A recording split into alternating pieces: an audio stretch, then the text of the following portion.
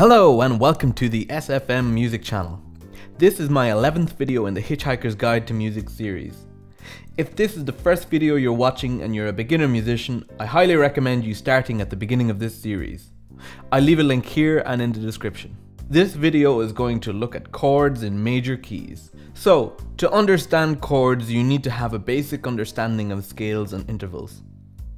I have covered both topics in other videos and I'll leave a link here and in the description. There is an enormous amount to talk about in chords. Too many to talk about in one video actually. In this video we're going to talk about a particular type of chord, the triad. The triad, rather predictably, has three notes. There is four types of triads, major, minor, diminished and augmented.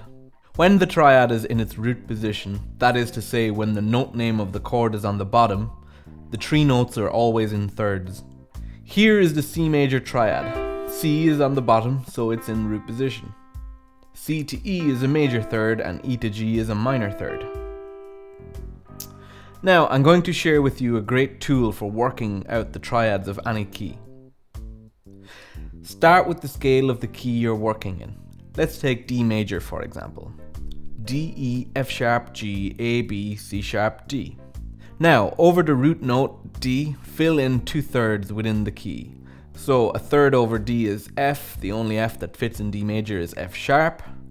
Now you have your second note of the triad. Third up from F sharp is A. A naturally fits the key of D major. Now you have the three notes of your triad. Easy. Now from these notes continue the D major scale. F sharp, G, A, B, C sharp, D, E, F sharp, and A, B, C sharp, D, E, F sharp, G, A. Now before you, you can see all the triads of D major. So let's talk about them. We talk about chords in relation to their root's position in the scale of the key.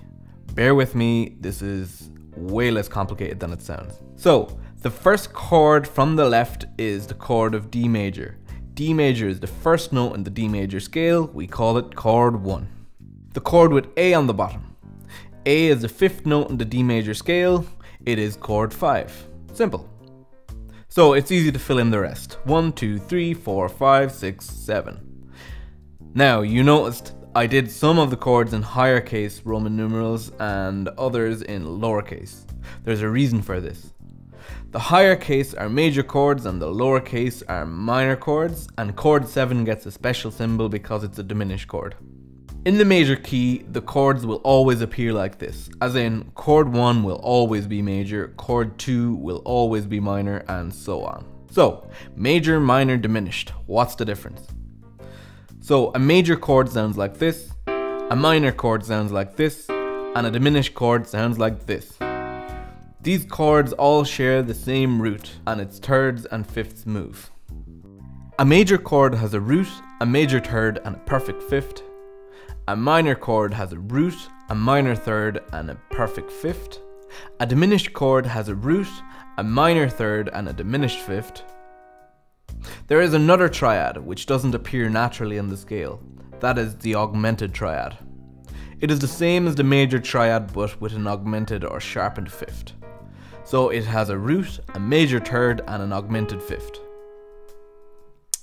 I hope you enjoyed today's video. If you did, please give us a like and hit the subscribe button below. Thank you, goodbye.